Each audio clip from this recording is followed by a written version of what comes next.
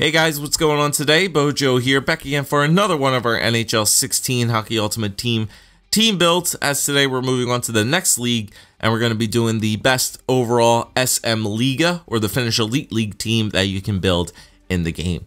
So once again, guys, if you missed out on our SHL, AHL, and the CHL team builds in NHL 16 Hockey Ultimate Team, you guys can go check out the link in the description for the previous video or the link for the entire playlist or go check out the main page of my channel and you guys will see all the videos there.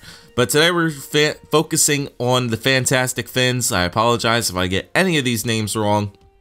And uh, we're just going to be focusing on this Fantastic Finns team and I'll show you guys the strengths and weaknesses along with some gameplay at the end of the video. So first off, on the first line, we're going to have Michael Ryan, Peter Hubacek, and Antti Miettinen. So Hubacek and Miettinen are still pretty good here. Three two-way forwards on the first line. 85 skating and 84 skating for Hubacek and Miettinen, and they do feel like they do have those uh, skating stats for sure. Michael Ryan, not really all too great. This team is probably I wasn't impressed by this team to say the least. I'll show you guys when we get to the strengths and weaknesses. But other than the first line, this is really all you have looking forward to here on this team is Hubacek and Miettinen, and that is pretty much it with those two guys.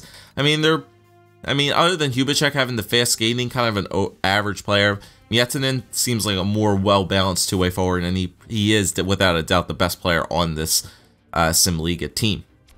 All right, so if we move down to the second line, we have Darryl Boyce, who I believe is the brother of Dan Boyce, I think, or Derek Boyce. I I think there is another guy Boyce in the NHL or playing hockey, but I'm not sure of his first name. But Darryl Boy, uh, Darryl Boyce, Ben Maxwell, right? Ben Maxwell, yeah, Ben Maxwell, and then Mika, yeah, Mika Pyrolala. I'm not even gonna attempt to say that. Uh, there are a lot of Kärpät players on this team. I think there's a total of five or six Kärpät players total on this entire Sim Liga team. So Kärpät does have a good, um, or Karpa, however you guys say it, but their team seems to be pretty good of high overall players. But once again, another weird combination of players with a grinder, playmaker, and a two-way forward. Um, a lot of these guys have good skating, hands, and defense. Not really good uh, shooting and checking other than Boyce. Obviously, since he's a grinder, he's going to have some good checking and decent skating stats.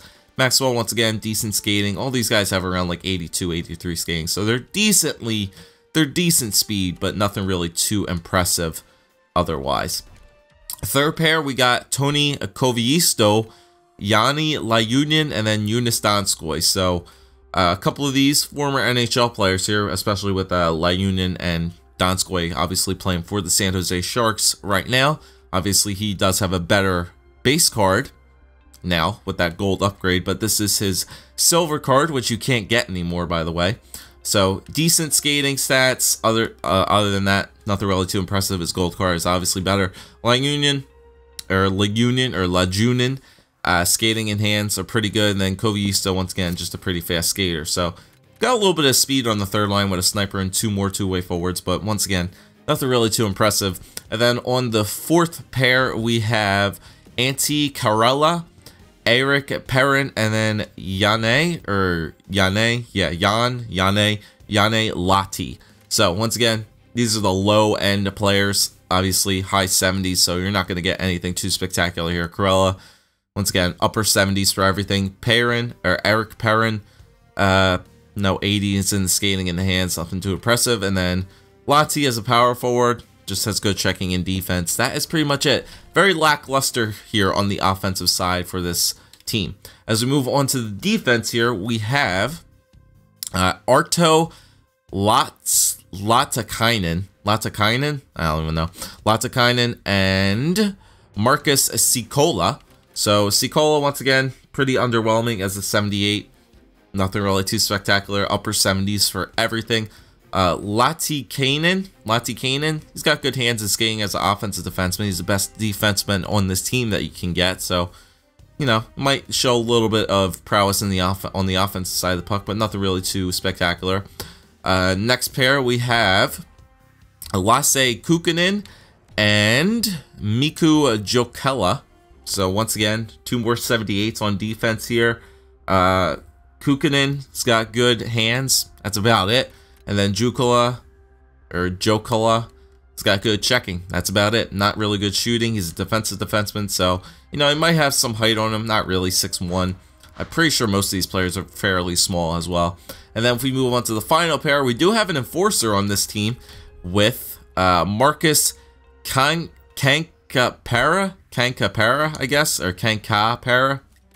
And then uh, finally, Miku Luma, Luma, Luma, Luma, I guess. So, uh, Kankapara was the enforcer. 81 checking. Not really too spectacular for an enforcer. He's only six foot, so he's a small guy, but no, he's he's bound to throw the body out there, I guess you could say. But 81 checking is kind of underwhelming for an enforcer. You expect enforcers to have some kind of height and weight, and this guy really doesn't have it all too much. And uh, Lum Luma, not really too spectacular either. 80 for checking, nothing really great otherwise. But if we do go to the goaltenders, the goaltenders are fairly decent. Obviously, the highest overall for silvers you can get in the game is 82. So the goaltenders are actually probably the better part of this entire team. So for starts, you got Jussi Markkanen, who is from Salpa, 82, almost has 82 overall in all of his stats, 6 foot 183, but he was a very solid goaltender in the two games that I used him. And then you also have Ryan Zapolski, who is an 81 overall, who has almost 81 overall on all of his stats, 81s and 80s all around. His stats, 6 foot 185. So, once again, guys, if you look at all the height and weights of these guys' teams, I mean, look, 6 foot all those guys under 200, 6 foot on all these guys around 200, uh, 6'1", 6 foot around all those guys, and then 5'11", 5'9", and 6'2". Perrin is a very small guy out there at 5'9".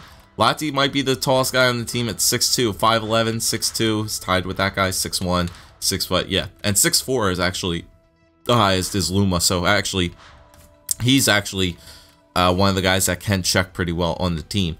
So, show you guys some gameplay here of how this SimLiga team plays, and uh, to say the least, they're very lackluster. One thing I can say as a common theme between all of the team builds that are not NHL teams is you still will be able to manage to get a lot of shots on net. No matter what their shooting stats are, rebounds tend to generate at a higher pace I seem I, I seem to see with these weird team builds. So shoot the puck on that, get some rebounds, you'll be bound to score a couple goals here and there. But that is the trouble of this team, is hitting the net. The accuracy of these guys' shots is not great. Not good at all. I think the best shooting stat that you get on this team for offense is 82. And on the best on defense you get is 77. So these guys don't have much power behind their shot.